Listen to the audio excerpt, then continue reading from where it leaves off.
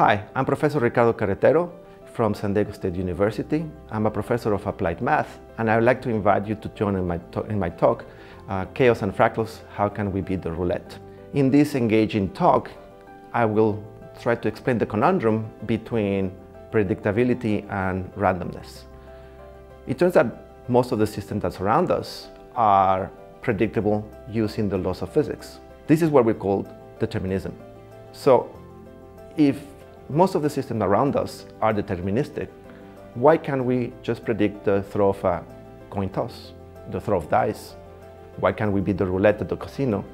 Why can't we do a better job at predicting the weather, for example? The culprit is what we call chaos. Chaos, at its most fundamental manifestation, is seen through what is called the butterfly effect. The butterfly effect tells you that very minute changes in initial conditions or environmental conditions will give dire consequences on the future evolution of the system. We will see how fractals, weird objects that are self-repeating at different magnification scales so that the system sees itself at very different and minute scales are intimately related with chaos.